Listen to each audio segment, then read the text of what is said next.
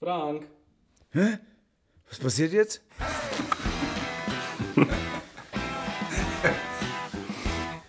Bloody Woodstock natürlich.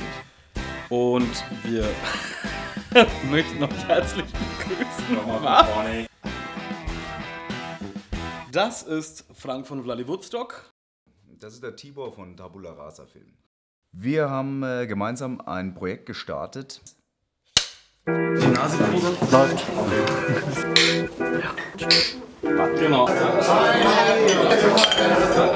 Läuft. Okay, normaler Blick. So. Wir haben zusammen ein Musikvideo gedreht. Ähm, daraus ist tatsächlich ein kleiner Kurzfilm entstanden. Das heißt, wir erzählen eine Geschichte und gleichzeitig untermalen wir mit den Bildern die fantastische Musik von Vladivostok. Hat er gesagt. Hat er gesagt, ja. Und die ganze Arbeit wollen wir jetzt vorstellen. Wir wollen es mit euch feiern. Und zwar am Freitag, 30. Januar im Zentralcafé in Nürnberg. Die Premiere des Kurzfilms. Im Vorprogramm seht ihr den Frieder Gräf.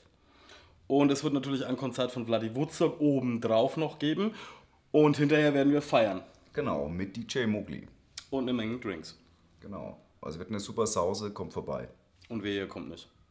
Dann gibt's Haue.